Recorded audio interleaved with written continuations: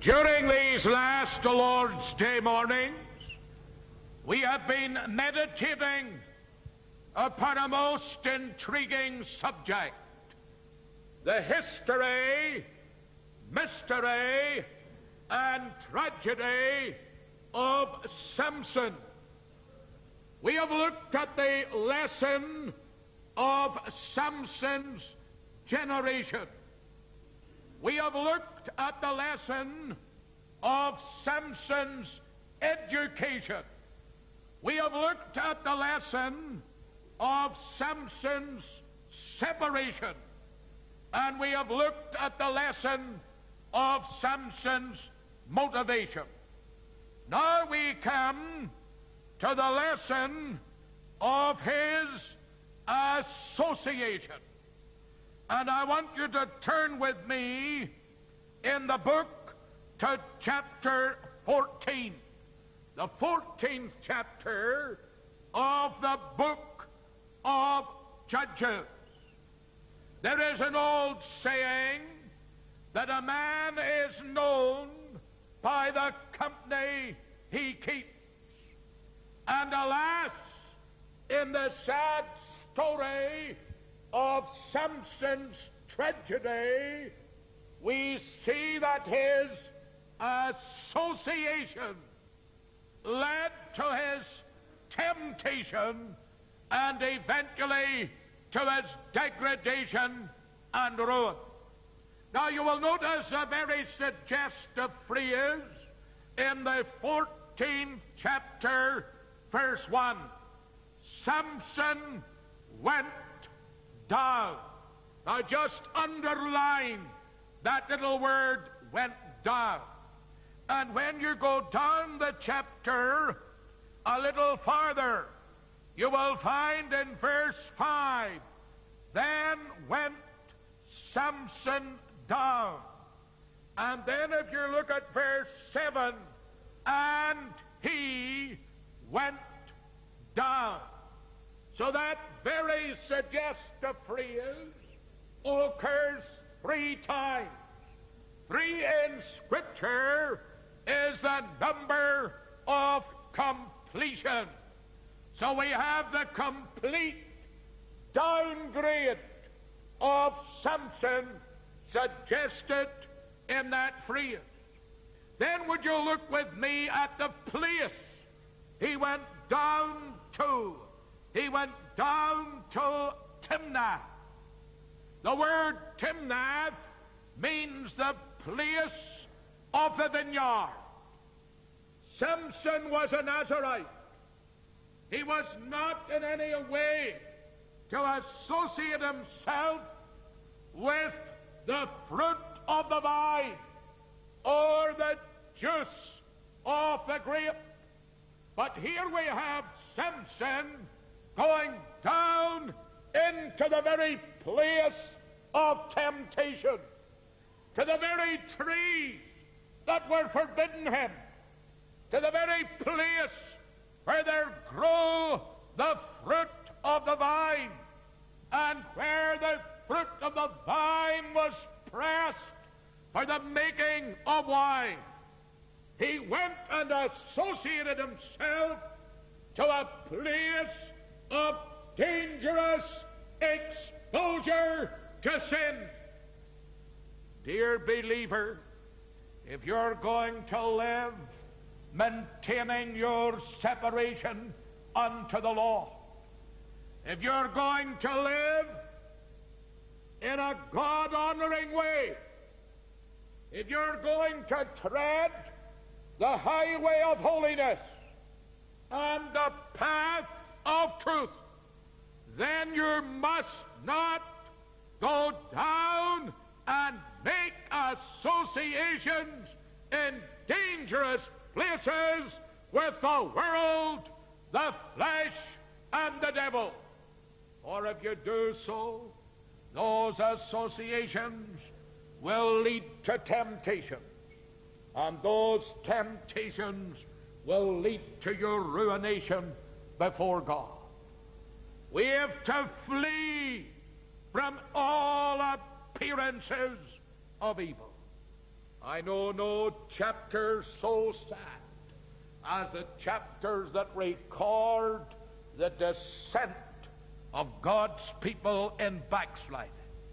If you turn to the book of Genesis, you will find in that book the fact that Abraham went down into Egypt. It was a going down. It was retrogression and not progression. Egypt in the Bible is a type of the world. And I tell you, the world's no friend to Greece to help us on to God. I want you to notice, secondly, that in his association, the flesh prevailed. You see, he decided that he was going to enter into a mixed marriage, that he was going to take as his wife a woman of the Philistine. No good ever comes of mixed marriage and mixed marriage. And could I say to every young person in this congregation what I heard T.C. Hammond, the great Protestant protagonist, perhaps the greatest that our island has ever seen in this generation. In my opinion, certainly he was. And he used to say to young people, marry your own. Marry your own. We need to re-echo that to the ends of Ulster today. No good comes of mixed marriage. And could I carry it one degree farther?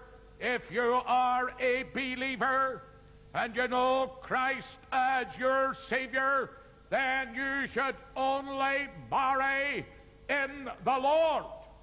For any other marriage is a mixed marriage and an unequal yoke, and God cannot bless it or God cannot honor it. So young people should be guided by the clear instructions of the book. You will notice that there was one thing that prevailed upon Samson. It wasn't the good pleasure of God or the approbation of the Almighty. But if you look with me at verse 3, he kept saying, She pleaseth me well. He put his self pleasure and gratification before the commands of God Almighty. If we elevate the flesh, if we allow the flesh to dictate our pathway, if we allow the flesh to govern our minds and our hearts and our wills and our line of conduct, then we are heading for ruin and total and absolute disaster. So we learn the lesson of Samson and his association. He went down. He went into the place where he was exposed to danger in the vineyard. He adopted plans for a mixed marriage. He allowed the flesh to prevail. His motivation was not the Spirit of God, but the fact that this woman pleased him well. Having briefly dealt with the lesson of his association, I want to turn now to another lesson, the lesson of his prefiguration. And we come now to one of the most interesting parts in our study of the life of Samson. Could I say just a word of instruction in regard to the study of Old Testament types and shadows and symbols. The Old Testament characters, many of them, are types of the Lord Jesus Christ. But there is one thing you need to keep clearly before you, in any study of Old Testament characters as a type of Christ. And that is that they're never a type of Christ as far as their characters are concerned. Because Christ is the holy, sinless, spotless, crimeless, faultless Son of God. And everyone else are stained and soiled and scarred and marred with sin. So never in their character are they types of the Lord Jesus Christ. Always keep that before you. And that will keep you steady as a rock in your interpretation of Old Testament characters as types of Christ. How are they types of Christ? They are types of Christ in their circumstances only. And we find in four circumstances that Samson is a beautiful type of Christ. Turn with me to chapter 14. And in chapter 14, we find in verse 5 that as Samson was there in Timnath in the vineyards, behold, a young lion roared against him.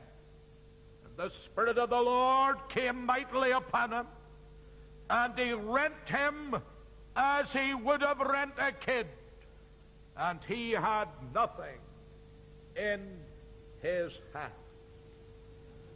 This incident in the life of Samson is at the beginning of Samson's career. In the parallel to the life of Christ, what was the first thing in Christ's career after his baptism? It was his temptation in the wilderness. The lion of hell roared against the blessed Son of God. Samson had nothing in his hand. The Lord Jesus Christ had nothing in his hand when he met the devil in that great temptation in the wilderness. What had the Lord? He had the Word of God. And with the Word of God, the greater than Samson took the young lion of hell and tore him asunder. And where the first Adam fell, the last Adam triumphed. And where the first Adam turned a paradise into a wilderness. The second Adam turned a wilderness into a paradise. Why? Because we have here a foreshadowing, a prefiguration of Christ. The second prefiguration you will find in chapter 15, verses 9 to 20. Samson is to be betrayed. Who betrays him? The man of Judah. Verse 11. Who betrayed the Lord Jesus Christ? Judas or Judah? Notice the careful parallel. The man of Judah came to betray Samson. Judas Iscariot betrayed the Lord. But what happened? When Samson was delivered into the hands of the Philistines, he reached for the jawbone of an ass. And with that jawbone, he slew heaps upon heaps of Philistines, and there was a great slaughter and a great deliverance. Tell me, what is the power that Jesus Christ uses to slay his enemies? It was the jawbone of an ass. It is the preaching of the Word of God that slays the enemies of the gospel. To those of the world, the preacher is only an ass. He's only a donkey. They think that he's a fool. For it has pleased God through the foolishness of preaching to save them that believe it. But God has ordained that by the preaching of His Word, heaps upon heaps of the enemies of God will be subdued by the power of the gospel. And you will notice something else that after Samson had slain the Philistines, you will notice that God cleave a hollow place that was in the jaw, verse 19. And there came water thereout, and when he had drunk, his spirit came again, and he was revived. What is it that revives the preacher after the battle? None other than the precious water from the very word that he has been preaching himself. That is the refreshing drought or draught that slakes his thirst. A wonderful prefiguration of the work of Jesus Christ. Then the third one you will find in chapter 16. The men of Gaza, they have barred the gate. They have closed the door. Midnight has come. They think they have Samson imprisoned forever. He is a, he is a type of the tomb. The Lord Jesus Christ lay in the tomb and the door was shut, a great stone. And the pillars were sealed with all the military prowess that Rome and the Pharisees could muster. And it seemed that Samson was going to perish, and it seemed that the body of Christ would be held in prison forever. But as the mighty Samson rose after midnight and walked towards the gates and laid the bar and the posts upon his shoulder and the door and carried them up to the hill of Hebron, so the mightier than Samson went to the door of the tomb and burst forever the doors of death, laid the bar and the posts of death upon his shoulders, and carried them up to the hill of God. And at the girdle of Christ today, there hangs the keys of hell and of death. For Jesus is the victor o'er the tomb. And let me say the doors of the tomb are burst forever for the people of God. Death cannot keep her prey. Jesus, my Savior. He tore the bars away. Jesus, my Lord. Up from the grave he arose with a mighty triumph o'er his foes. He arose a victor from the dark domain. He lives forever with his saints to reign. Hallelujah! Christ is alive and is alive forevermore. And up in heaven today, at the chariot wheels of the mighty, there lies the monument of death smashed and broken and conquered for his people forevermore. And when did he arise? He arose after midnight. very early on the first day of the fourth prefiguration you will find recorded in the last great act in the drama of Samson's life. Chapter 16, verses 26 to 30. The death of Samson. Where did Samson die? He died among his enemies. Where did the Lord Jesus Christ die? He died amongst his enemies. Samson had only one friend in that great crowd, and that was the little lad that led him. Christ had only one friend on the cross, and that was the dying thief who said, Lord, remember me when thou comest into thy kingdom. Jesus Christ made his grave with the wicked. So did Samson make his grave with the wicked. But in his death, Samson pulled down the temple of false religion and laid in ruin forever the temples of the adversary. So by his death, Jesus Christ pulled down forever the temples of paganism, antichrist, and false religion. And as he died, he cried, It is finished! And the work was done, and done forevermore.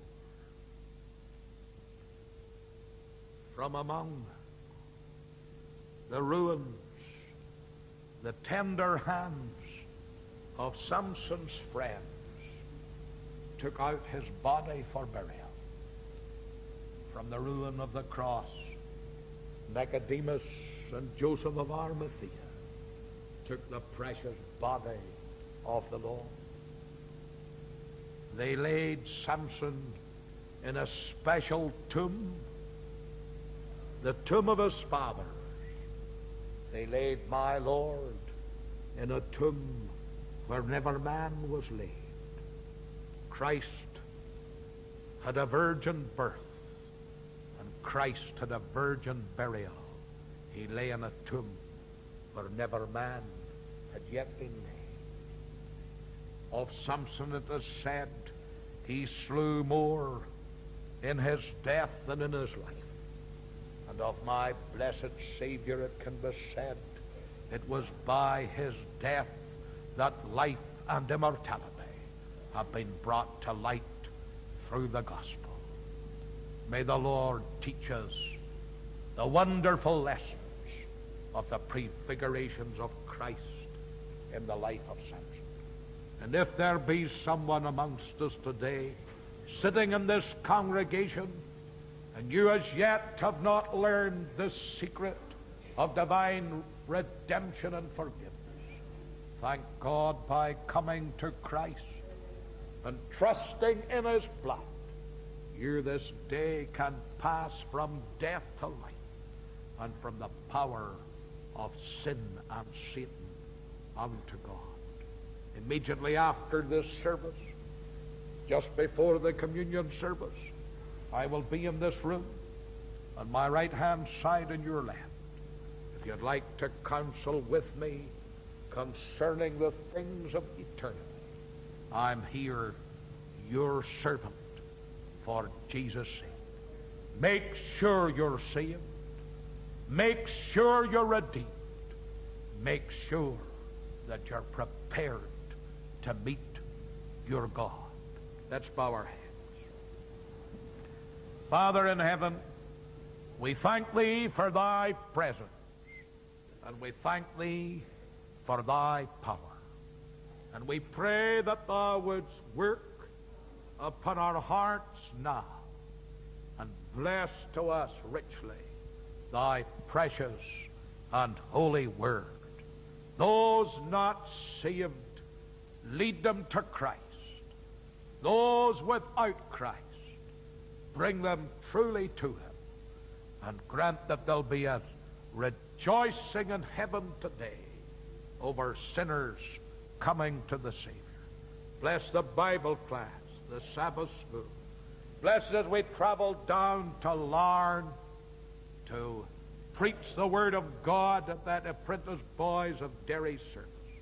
Grant, Lord, that in all things the Lord Jesus Christ shall be honored and glorified.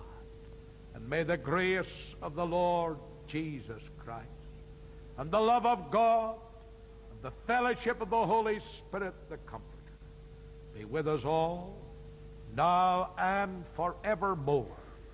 And the people of God said, Amen.